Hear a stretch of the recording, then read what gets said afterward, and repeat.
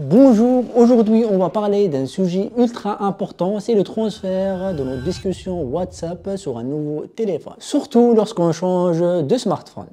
Mais avant cela, avez-vous entendu parler de nouveau euh, smartphone de chez Samsung, le Galaxy S25 et surtout le dernier S25 Ultra? C'est un bijou de technologie qui a plusieurs avantages en termes de puissance et de qualité photo avec son capteur de 200 mégapixels. Oui, c'est énorme, 200 mégapixels. C'est son objectif principal, l'autre est de 50 mégapixels. Il capte aussi des photos de très bonne qualité. Le véritable avantage de ces derniers euh, téléphones, c'est l'intégration de l'intelligence artificielle qui facilite et qui améliore notre expérience d'utilisation car elle simplifie la, retouche photo, elle simplifie nos recherches sur téléphone. On peut effectuer une recherche juste avec le vocal ou juste en déterrant un sujet sur notre écran. Donc c'est vraiment génial et très pratique. L'intelligence artificielle n'améliore pas seulement le visuel en traitant les photos, mais aussi l'audio en supprimant le bruit euh, Derrière-plan, c'est la nouvelle fonctionnalité qu'on retrouve dans ce Galaxy S25. Tout cela avec des bords plus minces et carrés et il est encore plus léger. La première chose qu'on pense après avoir acheté notre téléphone ou ouvre sa boîte, c'est le transfert des données. On sait tous à quel point perdre ses discussions WhatsApp, ses photos, vidéos et d'autres euh, fichiers, c'est un véritable cauchemar. Heureusement, dans cette vidéo, on va voir une très bonne solution qui nous vient de Phone, un logiciel qui nous permet de tout migrer facilement et rapidement.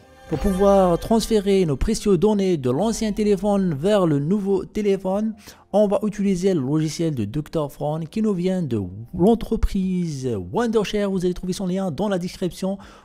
Il suffit juste d'ouvrir le site et de le télécharger gratuitement. Quand cela est fait, on va relier notre ancien téléphone et notre nouveau téléphone. Si vous utilisez un Android, il faut activer le mode débugage. Pour cela, on va activer le mode développeur et activer le mode débugage.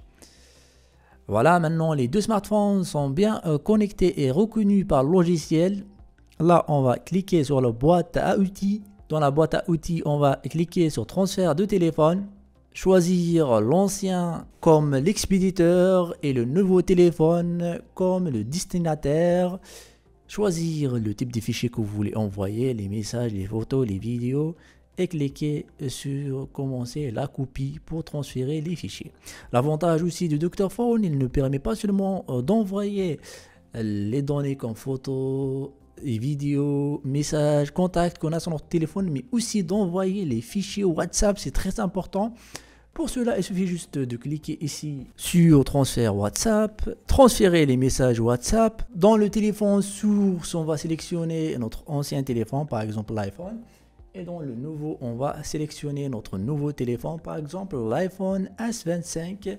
Quand ça est fait, il suffit juste de cliquer sur transférer pour lancer le transfert. Et voilà, maintenant on a bien pu transférer notre discussion WhatsApp. Maintenant, dans la deuxième solution, pour pouvoir transférer nos fichiers et données, on va utiliser Google Drive Backup. Dans la deuxième méthode, on va utiliser Google Drive Backup. Pour cela, il suffit juste d'aller dans les paramètres de notre téléphone Samsung, d'aller dans notre compte et sauvegarde. Ici, vous pourriez euh, copier les données euh, depuis l'ancien téléphone avec cette fonction intégrée euh, de Samsung. Cliquez sur envoyer sur votre ancien téléphone et recevoir sur votre nouveau téléphone ou directement en utilisant votre compte Google Drive. Cliquez sur sauvegarder des données ou restaurer des sauvegardes des données avec Google Drive. Et ici, vous pourriez directement restaurer et récupérer vos données. J'espère que vous avez bien transféré euh, vos données. N'hésitez pas à m'écrire dans les commentaires si ça a bien fonctionné. Maintenant, si vous voulez voir euh, comment récupérer euh, vos fichiers Android ou même l'iPhone, je vous conseille cette vidéo. Et d'ici là, la sur vous. Salam. Peace.